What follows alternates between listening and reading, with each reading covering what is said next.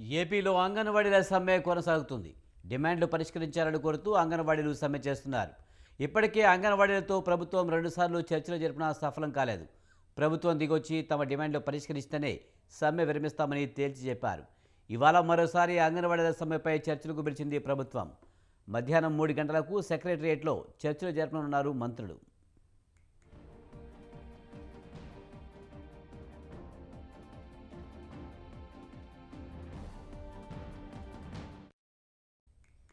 ఏపీలో అంగన్వాడీల సమ్మె కొనసాగుతుంది. డిమాండ్లు పరిష్కరించాలని కోరుతూ అంగన్వాడీలు సమ్మె చేస్తున్నారు. ఇప్పటికే అంగన్వాడీలతో ప్రభుత్వం రెండుసార్లు చర్చలు జరిపినా సఫలం కాలేదు. ఇక ఇదే అంశానికి సంబంధించి మరింత సమాచారాన్ని మా ప్రతినిధి సంతోష్ అందిస్తారు. సంతోష్ అంగన్వాడీలతో ప్రభుత్వం చర్చలకు సంబంధించి పూర్తి సమాచారం ఏంటి?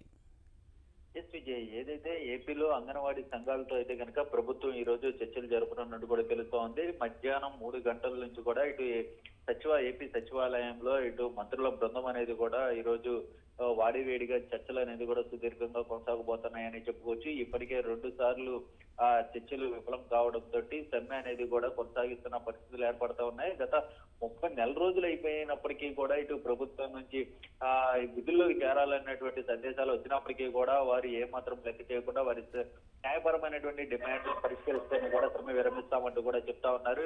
యస్మాని ప్రయోగించినప్పటికీ కూడా వారు ఏమాత్రం ఆ తగ్గకుండా కూడా పూర్తి స్థాయిలో వారి సమ్మె అనేది కొనసాగ కొనసాగిస్తున్నారు. మరోవైపు చూసుకున్నట్లయితే కనుక ఇప్పటికే మున్సిపల్ కార్మికులతో తో జరిపినటువంటి చర్చలు సఫలం కావడం అదేవిధంగా వారు కూడా తాత్కాలికంగా విరమిస్తున్నట్టు కూడా ప్రకటించడం కూడా జరిగింది. అయితే ఇప్పుడు అంగన్వాడీ సంఘాలతో అయితే కనుక భేటీ అవుతున్న నేపథ్యంలో ఇటు ఉత్సాహం నెలకొందని చెప్పుకోవచ్చు.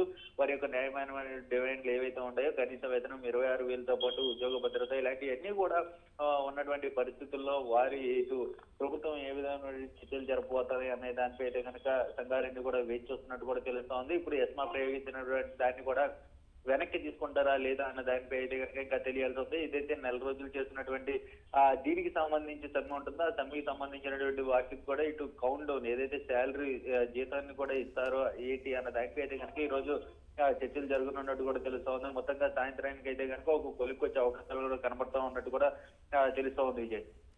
Right thank you Santosh